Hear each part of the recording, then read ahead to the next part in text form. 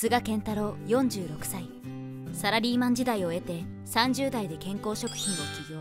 奇抜な営業方針が次々とヒット商品を生み瞬く間に年商100億円の会社に成長した。仕事もできて部下からも信頼も厚く絵に描いたような理想の社長。健太郎は35歳の時に結婚。美人な妻もいて会社も順風満帆。何の不満もない生活を送っているかのように思えたがこの2人数年前から夫婦関係は冷え切っていた。結婚当初は誰もが羨む仲良し夫婦だったが子供が欲しい2人になかなか宿ることがなかった。数年に及ぶ不妊治療も不発。美香が40歳を超えてしまい肉体的にも精神的にも諦めざるを得なかった。子作りをやめた2人は完全に愛情が冷めきってしまう。家に帰ってもほとんど口を聞かないことなんてザラだった。そんな健太郎は自分の会社の受付嬢の稽古と愛人関係になる。寂しさを紛らわすつもりが稽古の献身的な愛情に惹かれていき健太郎は本気で稽古を愛してしまう。今では週の半分を稽古の家で過ごすようになっていた。ただいま今日は会議もなくなったから早く来れたよ。愛人関係が2年になる頃でした。いつもご飯を用意して笑顔で迎えてくれる稽古がこの日は何も用意せず何か覚悟を決めたような顔で待っていたのです。どどうしたの？座ってくれる？今日大事な話があるの。私たちこの関係2年になるよね。もうこのままずるずる愛人関係を続けたくないの。なんだよ急に。俺は稽古のことを本気で愛してる。それは分かってくれるよね。それは分かる。だからこそ将来ちゃんとみんなに祝福されたいの。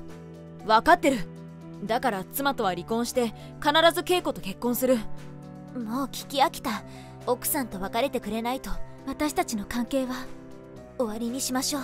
稽古の決意は今までのものと全く違うものでした。健太郎もそれは感じ取ったようだった。健太郎は幾度となく美香との離婚を考えた。だが自分の女性関係が原因だと判明したら莫大な慰謝料が発生すると分かっていた。それは今の会社の勢いをも落としかねないそこで健太郎は大きな決断をする。僕だって結婚したいよ。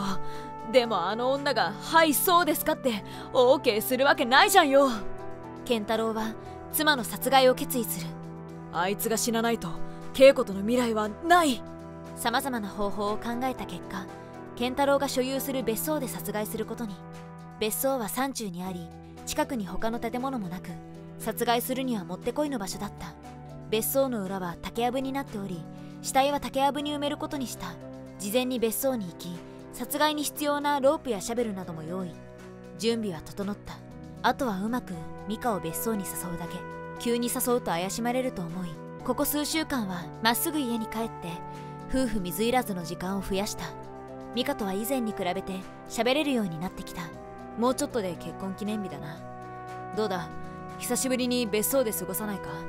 あなたから結婚記念日の話題してくるなんて初めてじゃない？ここ数年は仕事で時間作れなかったけど今年は2日休み取ってるんだ。もう休み取ってるの？じゃあ行こうか。ミカの殺害日は結婚記念日に決まった。殺害当日ミカは殺されることも知らず久しぶりの別荘にテンションを上げていた。うわー久しぶり。今日は2人の時間を大事にしたいから電話の電源を消す。ミカも電源切って過ごさないか？悪くない提案ね。計画はこうだった。ミカと夜に食事をする。ミカの飲むワインには睡眠薬を混入してある。意識が朦朧とした時に用意したロープで首を絞めて殺す。ワインも口に。計画は順調だった。このワイン美味しいわ。だろ？僕たちが出会った年に発売されたワインなんだよ。睡眠薬が効いてきたミカはソファーに移動する。久しぶりにワイン飲んだから酔っちゃった。計画は面白いくらいに順調だった。健太郎は隠していたロープを手にしそのロープをミカの首に巻いた。ああなた。ミカ許してくれ。お前がいたら俺は幸せになれないんだ。ミカは息絶えた。あとはミカの死体を裏の竹やぶに埋めたら作戦は終了。仮面夫婦だったことも周囲は知っているからタイミングを見て家を出て行ったといえば疑う人もいないだろうと健太郎は考えながら死体が硬直する前に埋めようとミカを竹やぶへと運んだ。ここは私有地。誰かに掘られることもないと考えた健太郎はあまり深く掘らず死体を埋めた。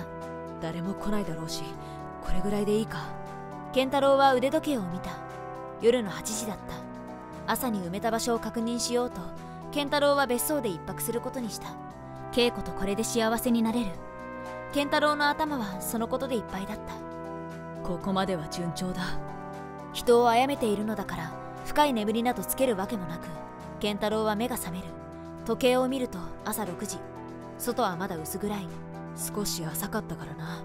衣服が見えているようなら深めに掘り直すか。健太郎は埋めた場所を確認しようとカーテンを開けた。その時想像を絶する光景を健太郎は目にする。健太郎が見たものは埋めたはずのミカだったのです。目の前には間違いなく夜に埋めたミカがいる。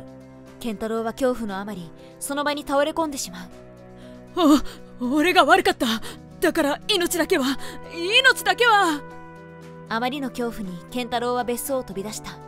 健太郎は山を下り近くの警察署に助けを求めた。おまわりさん助けてください。昨日妻を殺して死体を埋めたら朝生き返っていたんです。ちょっと落ち着いてくださいこのままだと私が殺される。多分もうそこまで来てるはずだ。早く僕を捕まえてください。健太郎はあまりの恐怖に自首をした。数時間後警察は健太郎の別荘にやってきた。ここで間違いないな。家の裏に埋めたと供述していましたし行ってみましょう。警官は埋めたとされる場所に行った。するとそこには生きているように見えるが立ったまま死んでいる状態だった。死んでるな。でもなんで立ったまま？警官の一人がミカの死体の異変を見つけた。見てみろ。タケノコだ！なんとミカの死体をタケノコが押し上げていたのだった。タケノコは成長が早く1日平均30から50センチ。中には1メートルほど伸びることもある驚異的な繁殖力を持つ植物。ケンタロウはタケノコの目の上にミカの死体を埋めてしまったためタケノコが成長し浅く埋めた死体が土から出てきたのだった実際にあった嘘みたいな本当の話。